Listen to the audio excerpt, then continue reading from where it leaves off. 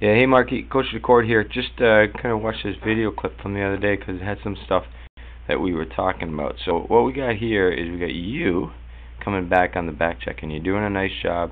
Rule of thumb on the back check is you're always funneling and coming back through the middle of the ice.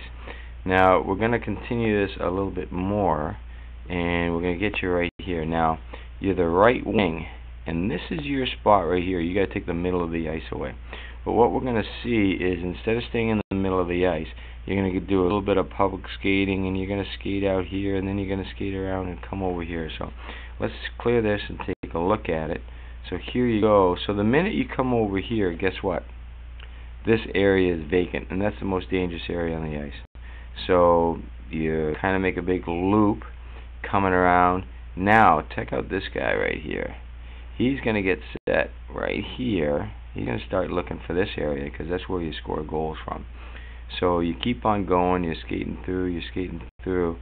Now, you're the right wing, but you're over here, and you already got one of your guys already there. So you got two guys on that one guy. And it kind of goes out of the camera, but you can tell that guess what? Our buddy over here has no one covering him. So the play kind of gets the blue line. Looks like it got broken up. As we look at this guy right over here, we can kind of tell coming out, and then boom, he's right back in. So the play goes back in. He's going to go for a forecheck, and then here you come over here. So what's going to happen is you got a great opportunity as you come across him just to pick him a little bit and hold him up, and you get right in his skating lane and you could have really just slowed down. So you identify that this guy has the puck, and if you just slow down right here, then he's either got to go, you know, on one side or the other side of you. So you're going to come across. So here you come, and you do a real nice job, despite the fact that you never put your stick on the ice. You do a real nice job pivoting and here we go we're going to pivot make yourself an option for the pass now we're going to take out uh, take a look at this guy right over here. He's going to end up banging the puck in along the wall. We could hardly see it okay? So anyway he's going to throw that puck in deep and then we're going to watch you over here. That puck gets back in and then we're going to pick you up and right over here and watch what you're going to do. Take a loop and come back. Well, the whole time you're taking this loop, guess what? He could hypothetically, you know, get a pass or drive the net or do something, and you're already behind your guy. So the rule of thumb is always when we did those cone drills. Remember those cone drills? Where we put three cones like this? Stops and starts. So here you come, you come back in the zone. Okay.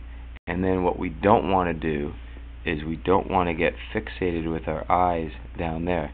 We'd like to position ourselves where we're in a line between this guy and the net. Uh, in essence, the shooting lane. So you should be a little bit more out this way, and you should have a head on a swivel, so you're kind of watching him. So now the play is going to progress. Once again, we don't want to go down there, okay? Because right now you got to be thinking when that plays on this side and the plays on this side, so let's say we had our cone set up, you know, this guy actually becomes our responsibility. So when I watch that play continue, it's going to go over, and here you go. Guess what? Once again, where's the danger area? It's the slot area, and you're heading off this way.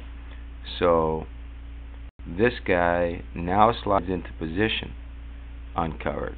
So what you're going to do here is you're going to kind of do a curl and I think you got a little figure eight action going on coming up here. So you're over here.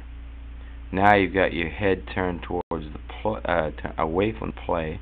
Now you're going to curl back. Alright. And curl again. Check out the whole time that stick is always up and not down.